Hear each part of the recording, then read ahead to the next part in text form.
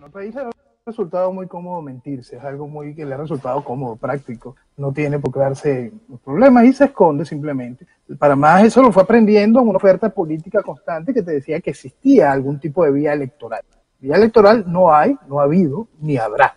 Es muy importante que quede, y que quede claro que nunca la hubo. Nunca hubo alternativa legislativa ni jurídica y menos electoral para la salida de esta crisis. Por eso siempre insisto, quien te llamó a votar después del año 2000, después del año 2004 y cuando especifico que llamó a votar, hablo de la dirigencia del país, más allá de la política, pero dirigencia del país, o lo hizo de manera consciente como colaboracionista que es, o lo hizo desde la más profunda estupidez. Entonces, ¿para qué te sirve como sociedad hoy algo como eso? Entonces, cuando la sociedad entienda y identifique que todo eso es basura, quizá exista la posibilidad de encontrarse con la verdad. Pero dime algo.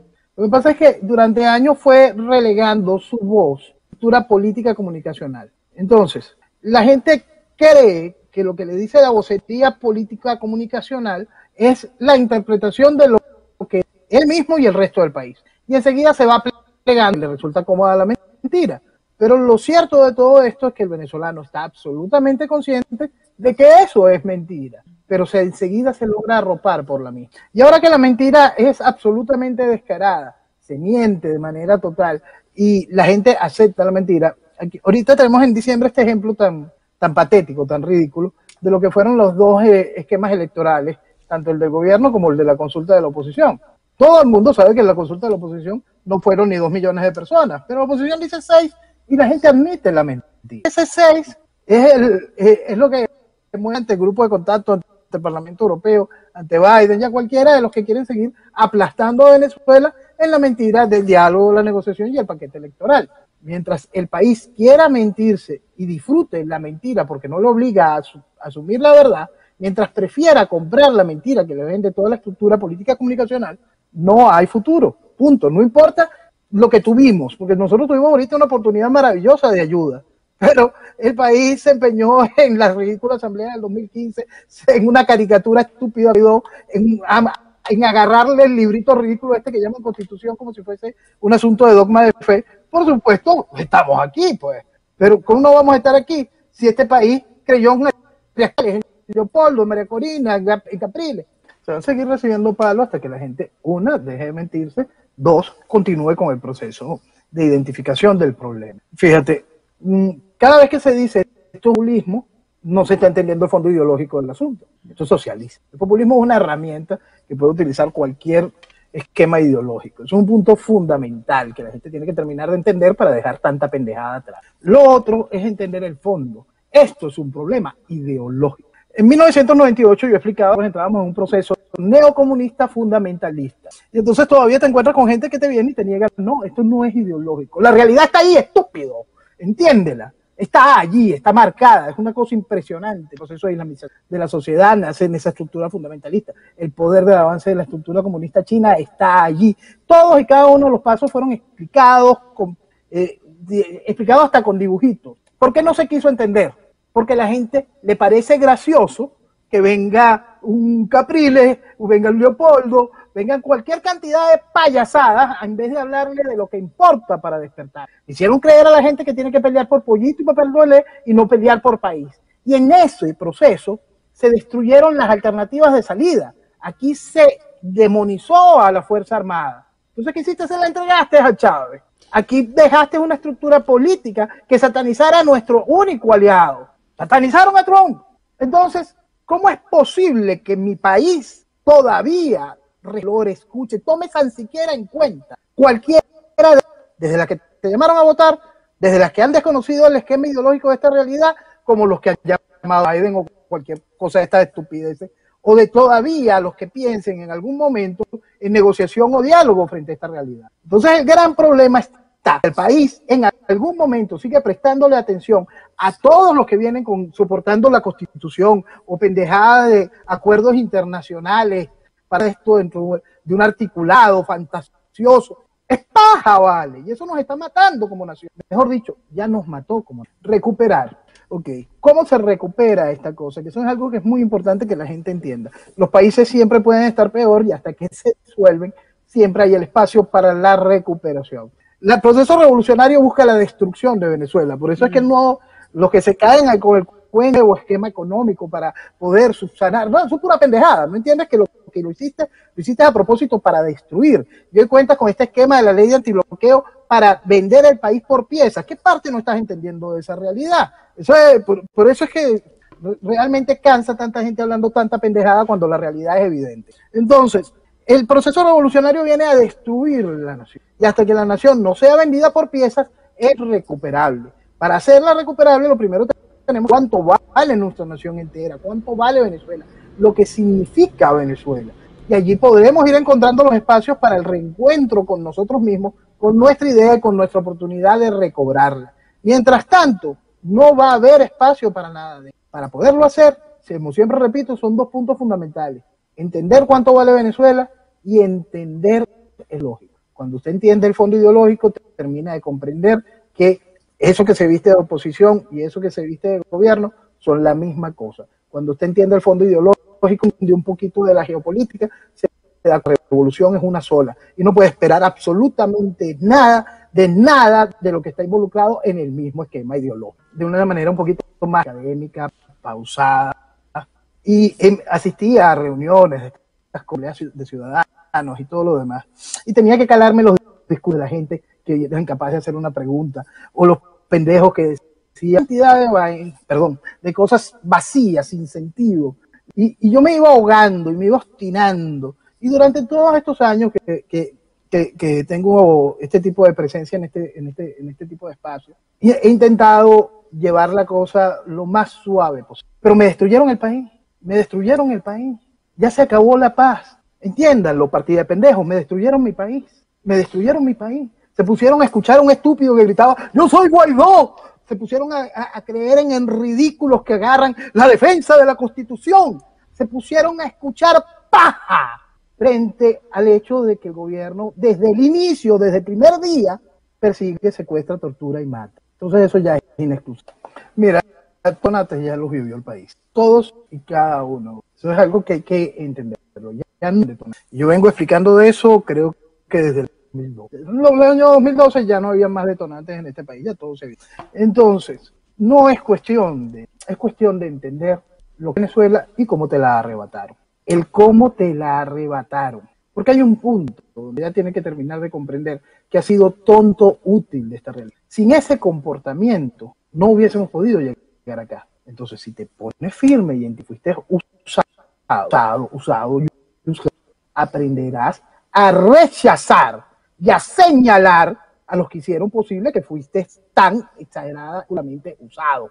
Y en ese punto se quiere pensar, se entenderá el fondo ideológico. Y allí, sin detonantes, sino con lo único que importa, amor por Venezuela y la necesidad de que pertenece para tus hijos, allí que hablaremos en serio. Mientras tanto, nada que ver. Las revoluciones son una gran pendejada, lo que se necesita es una rebelión. La rebelión que busque la toma del poder. Eso nace desde la base social. Mentira. Eso es, como lo, hemos explicado varias veces, es gracias a que una vanguardia tome una decisión clara. Esa vanguardia encuentre que en la sociedad existe una masa crítica que comprende la dimensión del problema, que entiende que existe una que comprende qué demonios es una dictadura para poder comprender la enfermedad y la cura. Entonces, si esa masa crítica le brinda el soporte necesario a esa vanguardia, la historia la escribirá como una gran rebelión popular en el marco de los colores. Lo que importa es que la vanguardia actúe en consecuencia y encuentre el respaldo más El asunto es que no voy a explicarlo con las flores, la poesía revolucionaria, ni los procesos de nacen de las rebeliones los pueblos, porque eso es pura pendejada. Mi país se está muriendo mientras los poetas siguen escribiendo más. Por eso es que lo primero, cuando empezó el guiado, yo explicaba, tenemos que ir al desgaste, al desconocimiento, al rechazo. Si bien el desgaste es una realidad, mucho del desconocimiento todavía no termina de y lamentablemente mucho del rechazo no termina de entrar en conciencia del venezolano. Es muy importante lo que significa rechazo. Ese mismo rechazo que recibía, eh, que, que en su dura, decía un, un scratch a cualquiera o cualquier cosa de esta, y si no se aprende a identificar, si el mundo no aprende a identificar, si es que está afuera el venezolano que, que tiene ya acceso por su situación legal hacia los gobiernos de los países, hacia los medios de prensa donde reside, no empieza a denunciar la complicidad de la estructura opositora para poderle quitar ese piso político a esa estructura opositora, irán siendo eso. Porque el país tiene que asumir lo que ha sido su irresponsabilidad salvaje. En el 2015 fueron y votaron por estas cosas. Después le dieron firmitas y después le fueron a aplaudirlos en la calle. Aceptaron que se burlaran de nuevo con lo de la consulta. Entonces, por supuesto, tienen la, la, la, la autoridad para decir que hablan por la voz del Venezuela. Entonces, el asunto es que tienes que terminar de desplazar, tienen que ser rechazados de manera masiva. Por eso es que yo siempre castigo todos los venezolanos que vinieron y aplaudieron todo este asunto de traer algo como Biden. Cuando más de todo esto, el tipo te venía y te decía, yo voy a arreglar de nuevo las relaciones con Cuba. decía de una vez, yo voy a hacer posible de que Irán entre de nuevo con el nuevo acuerdo nuclear y que Irán da gasolina a Venezuela. Que un venezolano haya apoyado eso, merece desprecio. Desprecio, punto. Ya tienes el punto de por qué llegamos aquí, porque eran los mismos que te llamaban a votar en que no tenían ni pies ni cabeza. Eso tienen en común. Entonces, ¿eso ha sido positivo en algún momento para Venezuela? No, ¿verdad? Que haya que explicarlo es lo que debe votar, enfermo. Que haya que explicar que los que hicieron posible la vestimenta de democracia de esta desgracia han hecho lo imposible para que nosotros perdiésemos nuestro único aliado y que la gente no vea la línea como une cada, una de estas cosas y no entienda la línea de que es ideológica, que se llama socialismo que haya que explicarlo. Estás Por favor, es que de verdad, es eso es lo que, y, es, eso lo que uno va, va, va, va generándole a uno, ya, ya es rabia, simplemente rabia. Ya uno no puede intentarlo de otra manera. Ya, ya mm, en lo particular, hace mucho que yo no sé y la aguantaba, ¿no? Pero ahora, de verdad, le daño en exceso a mi país. Y sabemos las ratas para qué están ¿Para qué están los degeneradores de opinión? Pero que el venezolano promedio no termine de abrir los ojos. El, país que quiere mentirse y el desconocimiento ideológico. Chávez viene y le dice que a los partidos inscritos en la Internacional Socialista es la derecha. Y entonces el país se cree esa mentira. Entonces, para más tú tienes a la estructura comunicacional validándolo a ellos como grandes opositores, cuando lloran por el legado de su comandante. Este, cada uno de estos partidos son defensores de la justicia social. Entonces, el gran problema se basa en un desconocimiento ideológico este, y lo cómodo que resulta comprar el producto que vendieron por televisión. Entonces, este fue el producto que te vendieron por televisión y tú compraste ese producto. Fuiste incapaz de agarrar siquiera el producto y leerlo por detrás y darte cuenta, como muchos de los productos que están hoy en los Estados Unidos, bueno, bueno todos tienen la mierda. Todo es socialismo. Ah, por supuesto, Biden va a intentar negociar unas elecciones libre y transparente es una solería. Este, la, hay que entender un punto que es fundamental. La revolución tiene ahora todas las posibilidades para la consolidación gracias al trabajo que vino a ser el guiado desde el principio. Creo, que estábamos en marzo del 2019, el guiado tenía un mes y pico en funciones y yo expliqué que llegaba para dos cosas específicas. La primera, la institucionalización de la tiranía ya la tenemos y se consolida con el hecho de que existe supuestamente una nueva Asamblea Nacional. Y la otra es la aceptación de la particular forma de gobernar de la tiranía. Entonces, eso lo viendo cada vez más, más eh, como también se consolida. Ya el primer paso lo vemos en el Parlamento Europeo, el guiado no, no se aguanta la mentira de que, de que sea presidente de absolutamente nada. Entonces, para que pueda consolidarse el juego de que existe una alternativa democrática, van a seguir la imagen de fuese algo, para poder jugar en los espacios de la vuelta a la democracia. Entonces, dentro de los espacios de la vuelta a la democracia, ya tenemos el grupo de contacto diciendo que no puede continuar esa división entre la oposición, una parte de la oposición que sí participó en la Asamblea Nacional y otra parte que no participó. Entonces, eso es tienen que ir a recorrer el camino electoral. Con eso le están mandando un mensaje claro al país de que esa parte participar en las alcaldes y gobernadores. Eso es parte del camino democrático hacia un proceso electoral que consolide un nuevo liderazgo que vaya contra Maduro en unas elecciones presidenciales. Entonces, para los venezolanos votaron por Biden. Sáquense de ese momento el esquema, el líder es necesario y todo lo demás. El líder que tendrá que ejecutar ellos no vendrá por ningún tipo de acción de respaldo social en lo electoral. Eso es un punto importantísimo que la gente lo entienda. Cualquiera que se presente dentro del juego electoral simplemente no viene a aportarle solución a Venezuela. Mm. Eso es importantísimo. Cualquiera que venga amarrado al librito ridículo que llaman constitución no viene en pro del problema de Venezuela. Cualquiera que crea que existe dentro del marco de la geopolítica internacional las herramientas para la solución real del problema de Venezuela, que no sea el hecho fáctico de la y en mi opinión muy particular, ejercida por una sola nación, porque las cosas estas espantosas de, de coaliciones lo único que traen son desgracias e ingobernabilidades futuras, simplemente va en contra de la idea de la nación, bien sea por colaboracionismo puro o porque es incapaz mental.